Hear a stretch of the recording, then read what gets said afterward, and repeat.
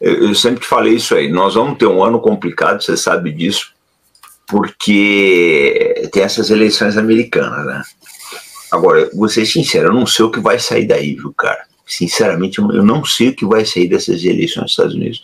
Porque depois do negócio de ontem aí, de, de, de anteontem, né, de condenarem o Trump, e assim, você pega os jornais americanos, há uma, uma, a divisão é grande. Hoje eu fui fazer uma pesquisa, eu soltei um vídeo em inglês, eu não sei se o pessoal viu, eu fui fazer uma pesquisa para saber como é que está a situação da, da, da, da, polarização americana, né? E tá uma situação complicada para caramba. Então a gente não sabe o que vai daí, né? Porque se os Estados Unidos têm um racha grande mesmo, grande, isso favorece chinês, favorece russo, acho que é o que os caras mais querem, né? Sim. É esse racha, esse problema político aí.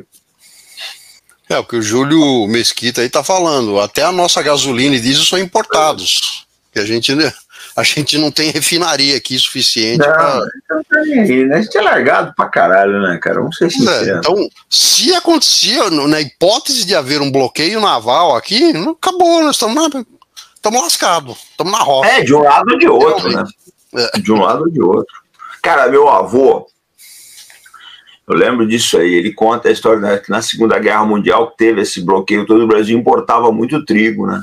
Pô, cara, tinha fila, fila do racionamento de trigo. Racionamento de pão, farinha, essa coisa toda aí.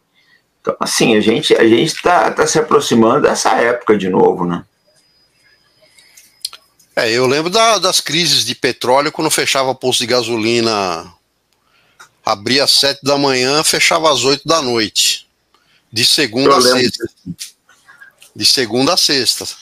E naquela época era comum você ter um, um, um ou mais galões de gasolina extra, o pessoal carregava dentro do carro. É, ia viajar, ia viajar um fim de semana prolongado, por exemplo, um, aqueles fim de semana de três ou quatro dias, não ia ter posto aberto. Você tinha que viajar e carregar gasolina, senão você. Eu lembro dessa coisa aí, eu lembro. Meu pai levava, levando o galão de gasolina atrás. Ô, oh, Marco, para a China interessa mais domínio do comércio e investimento.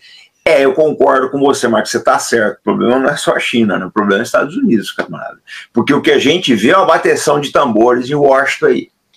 É. A gente vê uma bateção de tambor aí, de tambor de guerra. O pessoal quer guerra com a China.